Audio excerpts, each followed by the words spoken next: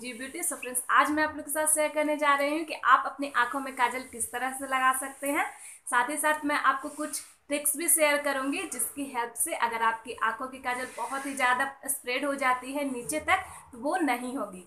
पर उससे पहले फ्रेंड्स आप मेरे चैनल को सब्सक्राइब कर लीजिए बेल आइकन को प्रेस कर लीजिए, ताकि मैं जो वीडियो अपलोड करूँ, सबसे पहले आप तक तो पहुँचे वीडियो को लाइक करना बिल्कुल भी मत भूलिएगा। कोई भी डॉट हो क्यूरीज हो आप मुझे कमेंट सेक्शन में मेंशन कर सकते हैं, और दोस्तों के साथ ये वाला वीडियो शेयर भी कर दीजिएगा। सो लेट्स गेट स्टार्टेड सबसे पहले एक कॉटन बट की हेल्प से मैं अपने अपर लाइन और लोअर लैस लाइन को अच्छी तरीके से क्लीन कर लूँगी, क्योंकि हमारे अपर लाइन और लोअर लाइन में बहुत ही ज़्यादा मॉइस्चर होती है।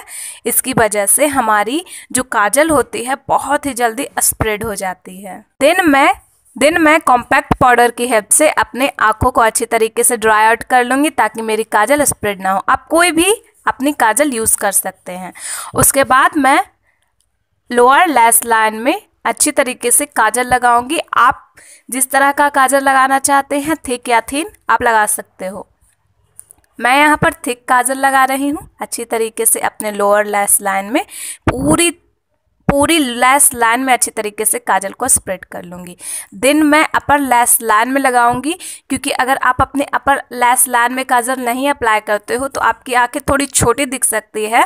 अगर आप अपने अपर लाइन में अप्लाई करोगे तो आपकी आगे बिगड़ दिख सकती है। देन आपको अपने आई के कॉर्नर को पुश करना है और अपने दोनों आईज से पूरे में करना है। देन थोड़ा हल्का सा एक विंग क्रिएट करना है। इससे आपकी काजल बहुत सुंदर दिख सकती है और इसे दोनों को मिक्स कर लेना है। आप देख सकते हो कितना सुंदर काजल लगा है।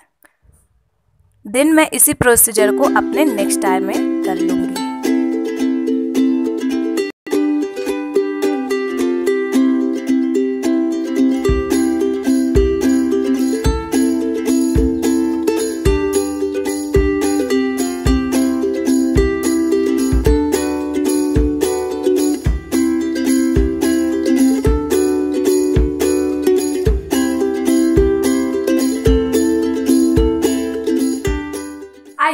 गाइज़ ये वाला वीडियो आपको बहुत अच्छा लगा होगा। अगर अच्छा लगा है तो सबसे पहले आप मेरे चैनल को सब्सक्राइब करिए लाइक करिए, दोस्तों के साथ शेयर करना बिल्कुल भी मत भूलिएगा। कोई डॉट की रीज आप मुझे कमेंट सेक्शन में मेंशन कर सकते हैं।